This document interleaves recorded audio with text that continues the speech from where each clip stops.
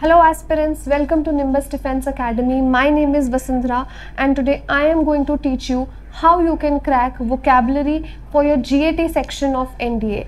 So as you know NDA is just around the corner and you need to prep up and buckle up yourselves because the time that you have is very very less and vocabulary holds a lot of importance when it comes to NDA because आप देखो paper में आपके 50 questions आते हैं जिसमें से 30 अगर हम उसका ब्रेक डाउन करें तो 30 क्वेश्चंस जो हैं आपके डायरेक्टली वोकेबलरी में से आते आए हैं पिछले इतने सालों से।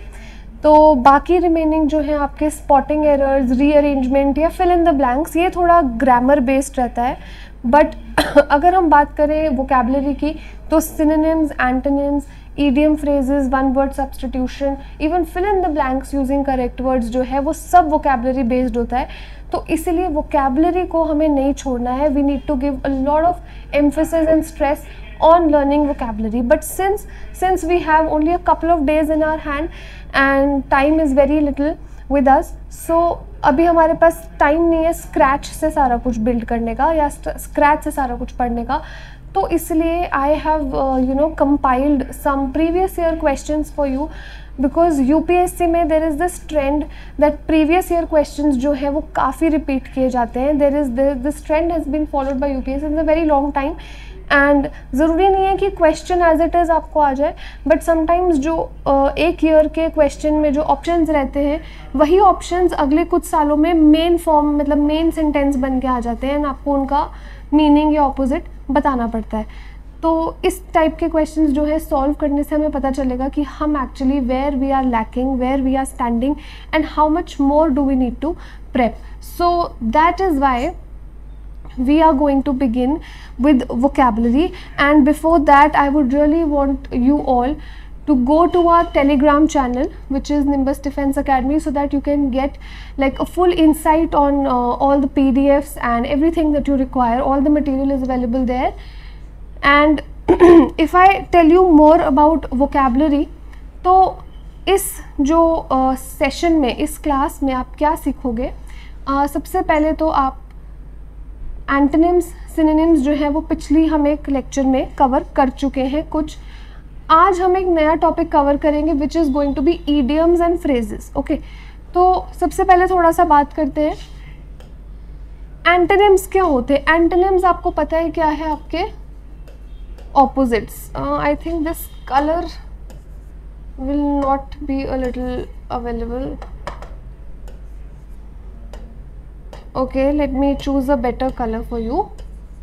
Antonyms आपके क्या होते हैं? ऑपोजिट्स राइट एंटोनिम्स आपके क्या होते हैं? ऑपोजिट्स और सिनोनिम्स आपके क्या होते हैं? Same word same meanings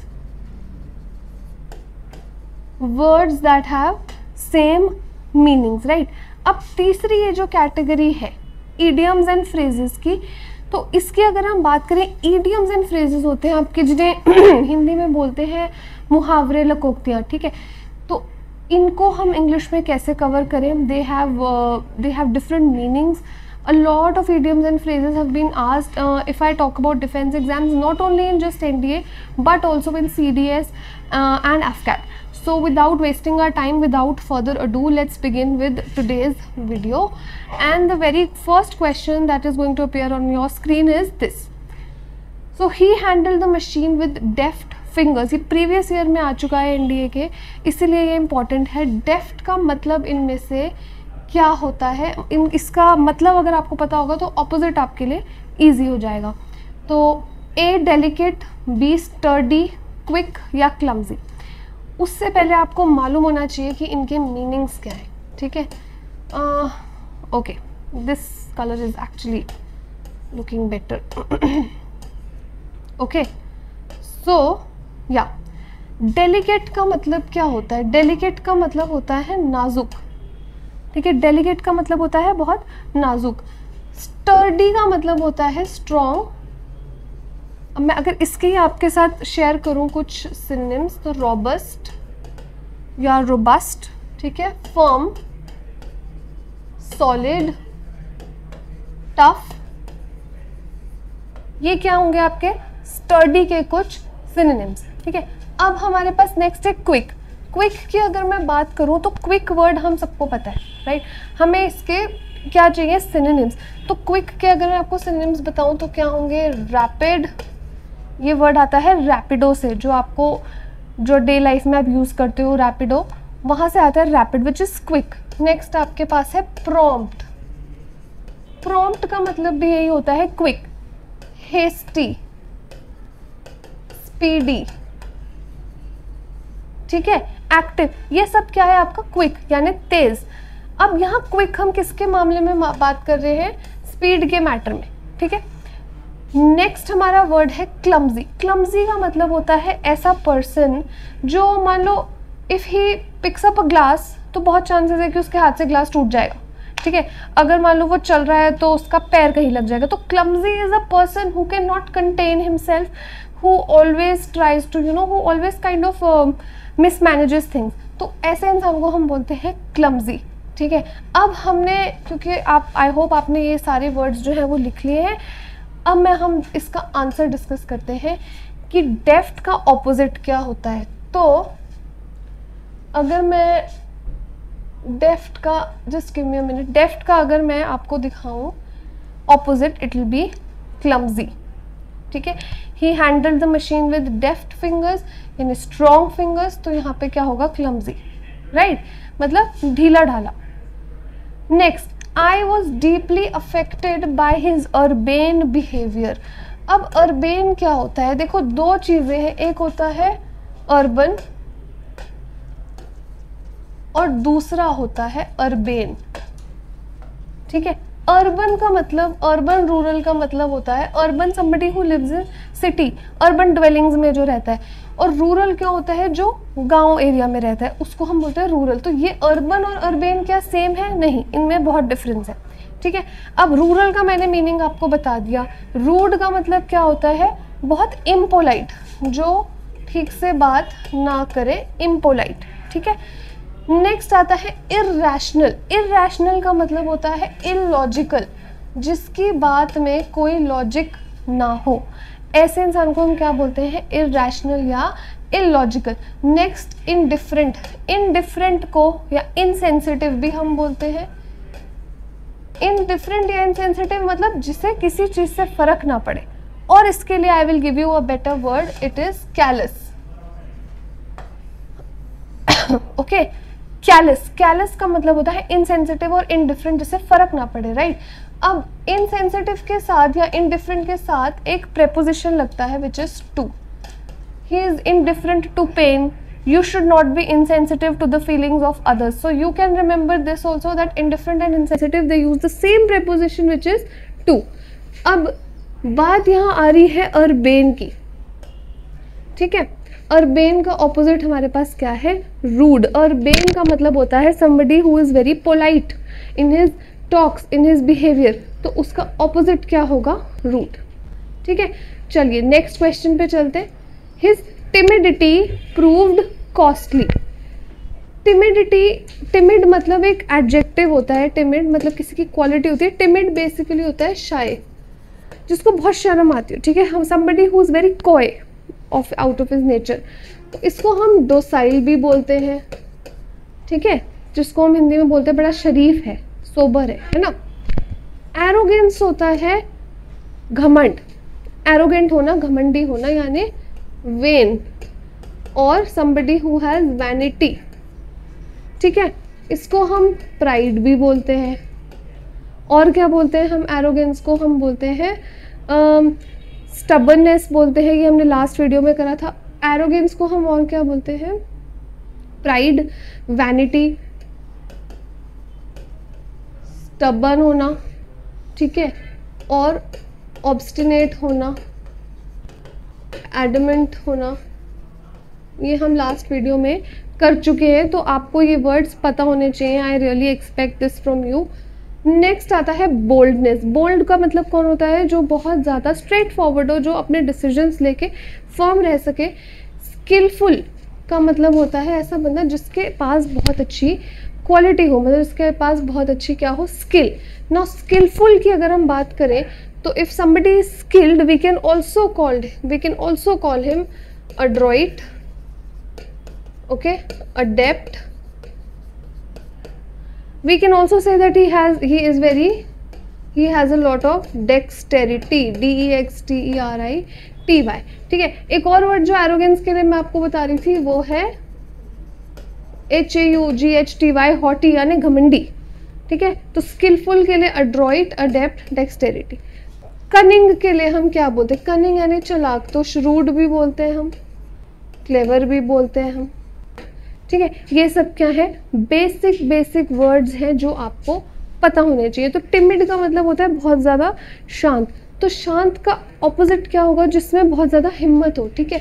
दूसरों को जो फेस कर सके। इसीलिए इसका ऑपोजिट होगा boldness the opposite of timidity will be boldness इसी तरीके से शाय का भी बोल्डनेस ही होगा right next arrangements were made to handle the mammoth gathering tactfully ठीक है? मैमथ का मतलब होता है मैमथ बेसिकली आइस एज में एनिमल्स थे and I have often told this to my students they were basically elephants with long tusk okay and mammoth stands for huge huge, giant, enormous, ginormous. Let me put a better handwriting so that ginormous ठीक है और क्या क्या बोलते हैं हम colossal next gigantic next massive next humongous okay okay, देखो कितने सारे वर्ड्स जो हैं वो आपको यहाँ से मिल गए। तो मैमथ सिग्निफिकेंट का मतलब क्या होता है? इंपॉर्टेंट क्रूशियल एसेंशियल ठीक है? स्मॉल टाइनी ठीक है? यहाँ से अगर मैं बात करूँ डिम्यूनिटिव डिम्यूनिटिव डिमिनिश से आता है, ठीक है? नॉइजी नॉइजी क्या होता है? Somebody who makes a lot of noise तो हम इसको बॉइस्ट्रस भी बोल सकते हैं। ठीक है? अनरूली जिसको रूल करना ना आता। Unruly is somebody who does not know how to manage things now when I talk about mammoth I mean to say it means big so what will be the opposite of mammoth it will obviously be small so B is your answer next he was engrossed in his work when I walked in in का मतलब होना किसी चीज़ में उलझे हुए होना। तो आप देखो ऑक्यूपाइड एंगेज इन सब का मतलब जो है वो दोनों का मतलब सेम है। बच्चे इनअटेंटिव और एबसेंट तो या तो आप अपने काम में उलझे हुए हो गए या you have no idea what is going on so the answer will be B right these are the main points of the preceding paragraph precede का मतलब होता है पहला। Preceding and succeeding are the opposites of each other preceding मतलब पहला वाला प्रोडेसेसर successor यानी आगे वाला। फॉलोइंग प्रीवियस फ़र्स्ट लास्ट ये सब रिलेटेड है। बचा क्या? A preceding is the one that is previous and following is the next one he made a shrewd guess अब देखो, मैंने अभी आपको श्रूड का मीनिंग बताया था, है ना? तो ऑपोजिट क्या होगा इसका? He made a shrewd guess shrewd का मतलब होता है क्लेवर ठीक है? तो क्या होगा? ऑपोजिट यस वाइल्ड ओके मतलब श्रूड मतलब जैसे बहुत ज़्यादा स्मार्ट या बहुत ज़्यादा शार्प तो ऑपोजिट क्या होगा? वाइल्ड वाइल्ड गेस मतलब रैंडम सा तुक्का.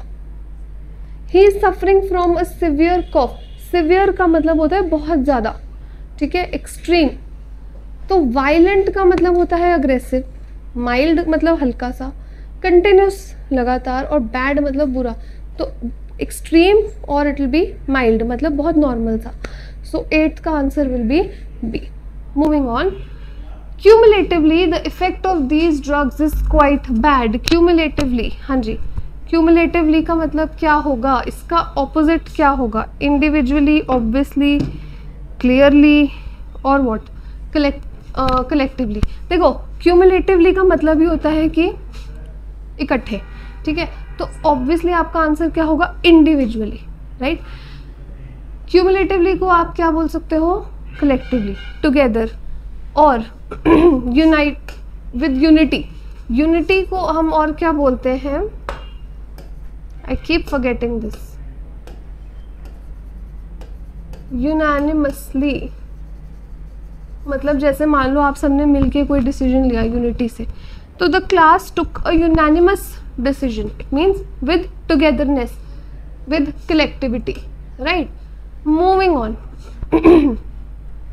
was he was conspicuous because of his colorful shirt. Now this is a tough word and uh, if you are in this exam अगर आपको बहुत श्योरिटी है कि इसका आंसर इनमें से कहीं मतलब आपको मालूम है तो ही अटेम्प्ट करना। अगर आपको लगता है कि he was conspicuous because of his colourful shirt could be anything it was it could be ugly charming small unnoticeable तो आप ये क्वेश्चन जो है थोड़ा सा स्किप कर सकते हैं। बट क्योंकि अब हमें इसका आइडिया है तो हम आपको बताएँगे अननोटिसेबल कंस्पीशियस का मतलब होता है like when you are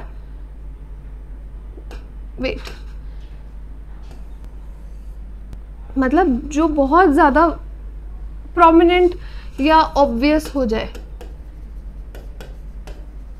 ठीक है, मान लो कोई आपके सामने रेड हेयर कलर करवा के आता है तो obviously you can not help but watch them right you will obviously you can't take your eyes off them because it is something which is very new to your eyesight right so that is why the answer is obvious का opposite unnoticeable right so with this we come to the end of antonyms and now we are beginning and going to synonyms so first we have suddenly there was a bright flash followed by a deafening explosion अब deaf से आता है deafening deaf यानी जो चीज़ आपको बहरा कर दे right इसका मतलब काफ़ी ज़्यादा अब हमें सिनेम बताना है तो डेंजरस तो मतलब डरावना टेरिफाइंग जो आपको अगेन डरा दे वेरी लाउड बहुत ज़्यादा तेज़ माइल्ड मतलब लाइट ओके तो डेफनिंग मतलब बहुत तेज़ तो आंसर आपका क्या चाहिए? अब डेंजरस का मैं आपको थोड़े वो बता दूँ सिनेम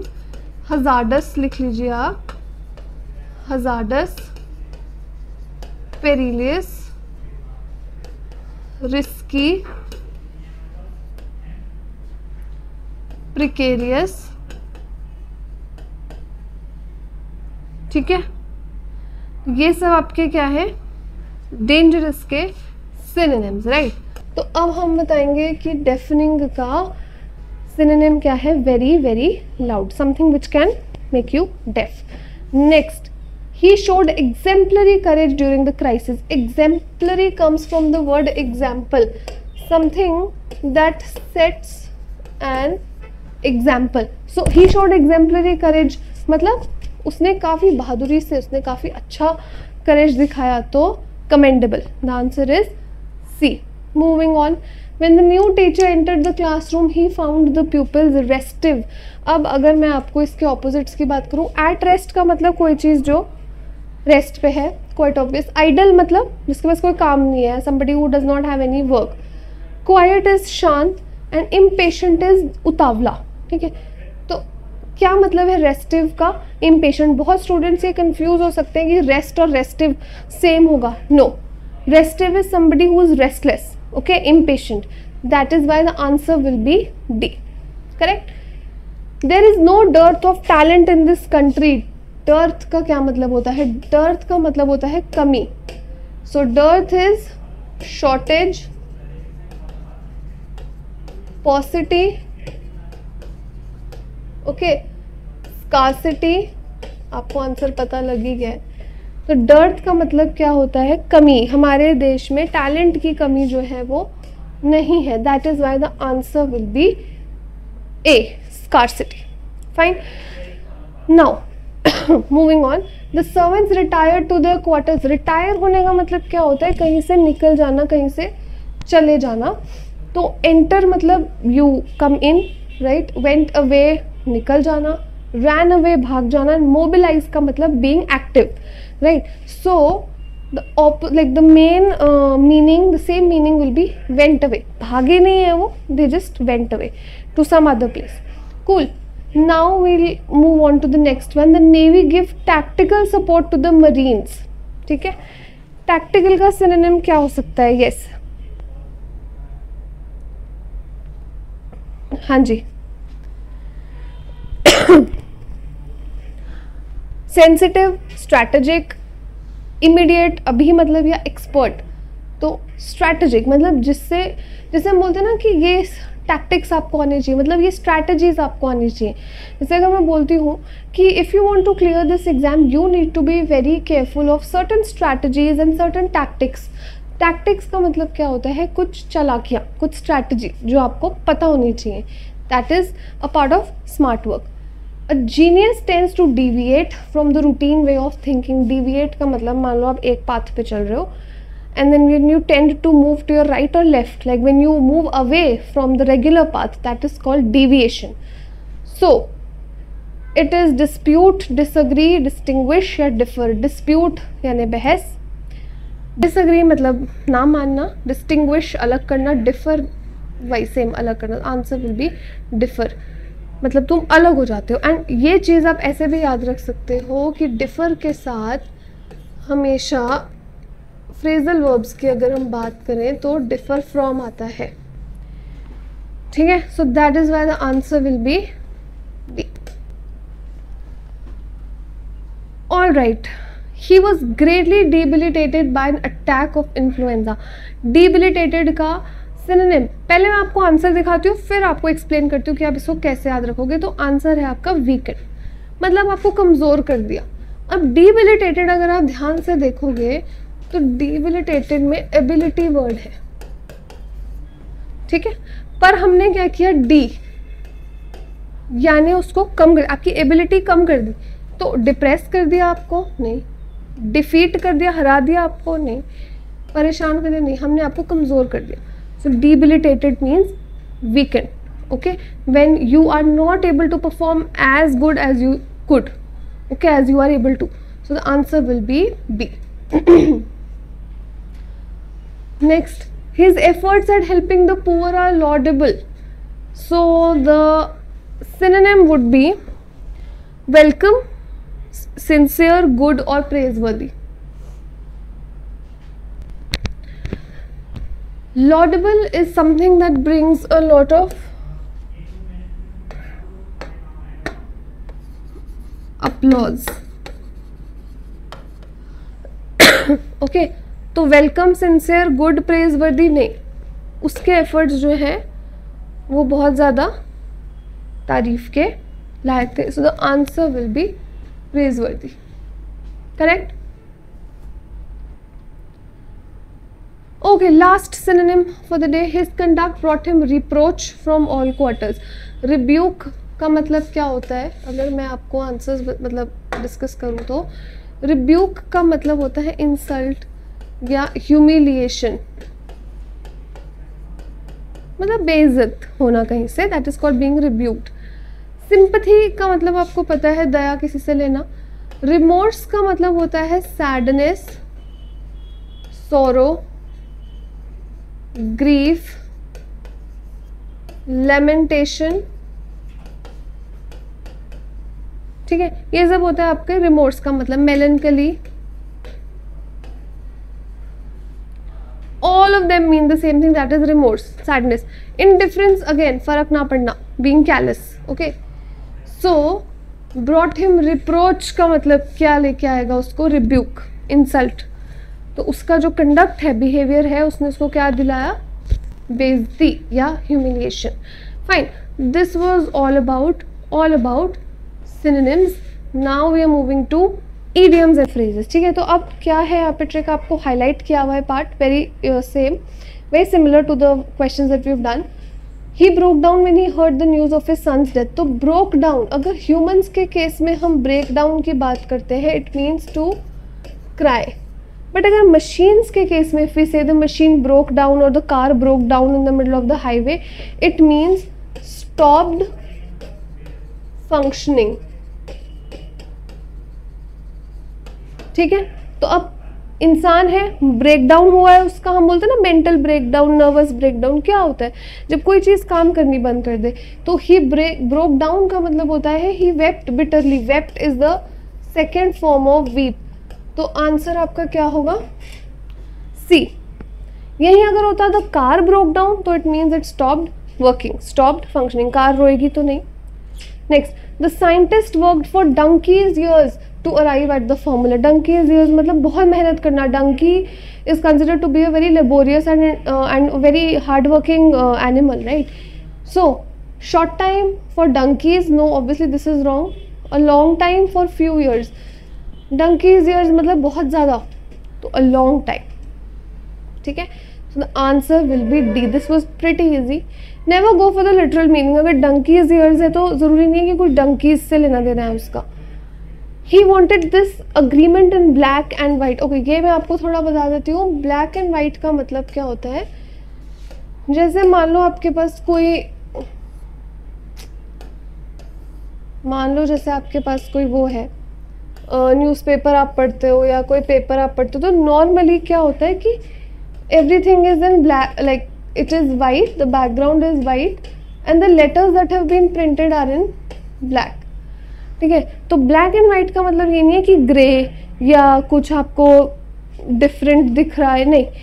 Black and white simply means in written form okay so black and white क्यों? क्योंकि पेपर पे जब कुछ भी नॉर्मली कुछ प्रिंट होके आता है, लिखा जाता है तो it's usually black and white so that is why the answer is in writing delta okay we are just about to in this class and I think you should hang on till the end the manager gave is assistant a piece of his mind I am going to give you a piece of my mind का मतलब displaying your anger okay when somebody makes you really angry and then you say that you know i will really give you a piece of my mind it means that you will show them how angry you are right now so answer will be scolding advice माने सलाह तो देगा नहीं suggestion भी नहीं देगा gist का मतलब होता है हिंट लाइक ओवरऑल समरी किसी चीज़ की ठीक है and the last question of the day is your report of the matter is all moonshine तो is it acceptable is it concocted is it excellent familiar all